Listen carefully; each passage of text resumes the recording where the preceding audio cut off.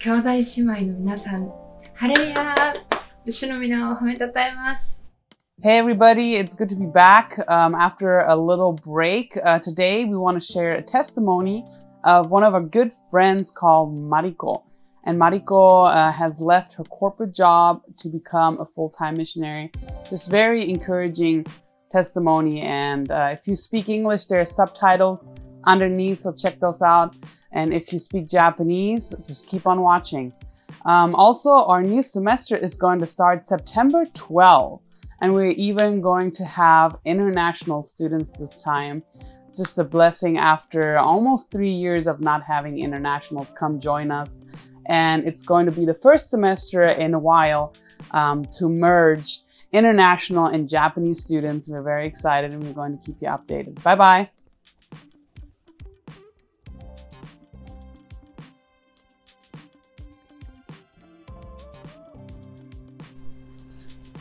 日本全国の兄弟姉妹の皆さん、ハレルヤー主の皆を褒めたたえます。えー宮城まりこです。私は高校生まで沖縄で生まれ育ち、大学で東京に上京して、それから8年間一般企業で働き、えー今年2022年の3月に会社を退職し、えーそしていよいよ7月から海外選挙へと派遣されます。マルコの福音書16章15節にはこう書かれています。それからイエスは言われた。全世界に行って、すべての作られたものに福音を述べ伝えなさい。日本の兄弟姉妹の皆さん、昨今の世界情勢を見ても、世の終わりが着実に迫ってきていることは明らかです。私たちに残された時間はもうあとわずかです。日本以外にも福音を必要としている、イエス様を必要としている民民がたくさんいます。今、この終わりの時に日本教会の兄弟姉妹の皆さんが立ち上がり、全世界に出て行って、イエス様が迎えに来られるその時まで福音を伝える使命を全うできますようにお祈りします。ちなみに私の今後の選挙活動についてご関心のある方やニュースレターを受け取ってもいいよと思う方、また鳥なしの祈りをしてやってもいいよと思う方は、マリコ宮城 bb at gmail.com までメールにてご連絡ください。また、これまでの主の導きについて、えー詳しく知りたい方は、15分バージョン、20分バージョン、30分バージョンの証をご用意しておりますので、お気軽にご連絡ください。では、主の祝福がありますように。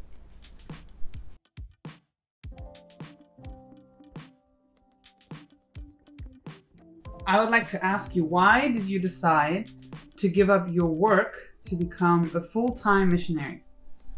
そうですね。なぜ、えー仕事を辞めて、うんフルタイムで宣教師として海外選挙に行こうかってあの決断した理由なんですけれども、まあ、本当に私はこの日本の地で福音を伝える必要がある。もう日本人こそ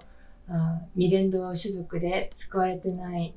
人たちがたくさんいて、福音を聞いたこともない人たちがたくさんいるっていうふうに思っていて、私はこの自分の、えー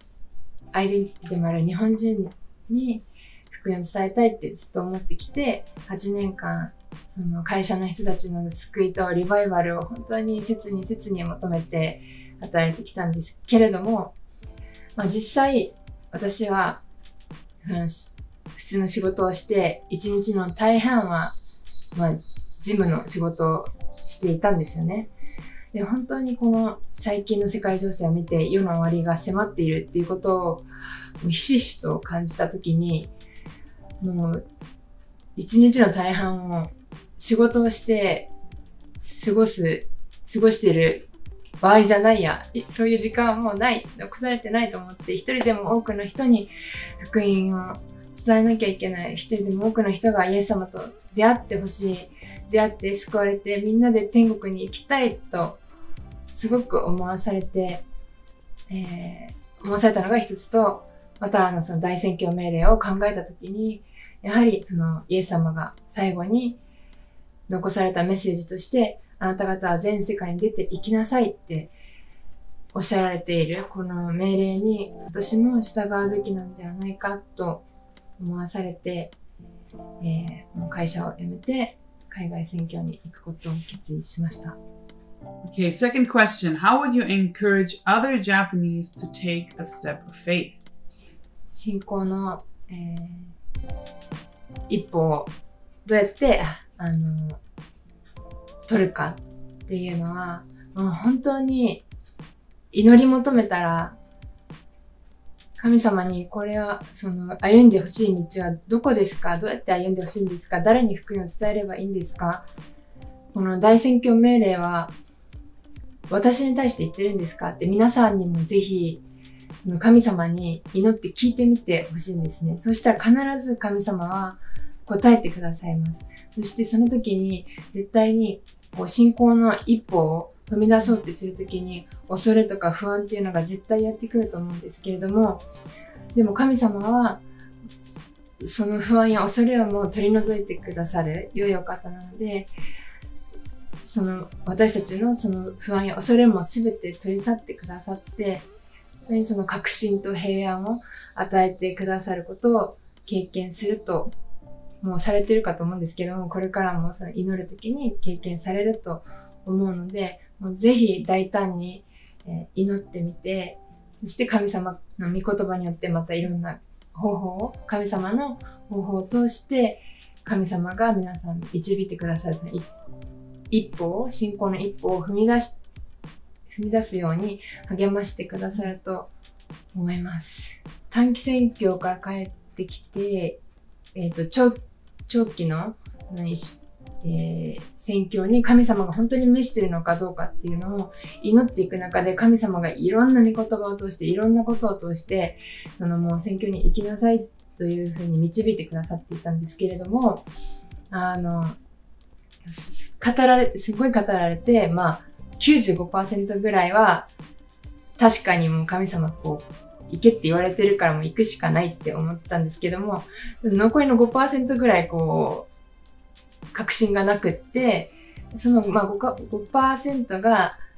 何だったかっていうと、まあ、どの国に召されてるのかもわからないし、どの選挙団体を通していくのかもわからないし、あの、いつ行くのかもわかんないし、なんかその、まだ何も決まっていない状況で、えー、私はなんか辞めるべきなんだろうか、会社を辞めるべきなんだろうかっていうのがあったんですけれども、まあでももうこれだけ神様が語ってくださってる。だから、その残りっていうのはもう神様に委ねるしかない。神様に任せて神様があと、あとも一歩一歩導いてくださるっていうのを、あの信じるしかないなって、その5%っていうそのなんか、この、これからの将来が全く見えないっていうのは、それこそその神、えっ、ー、と、神様を信頼して取れる信仰の、あの、パーセントなんじゃないかと思って、はい、決断しました。うんこの動画を見てくださりありがとうございます。ぜひ、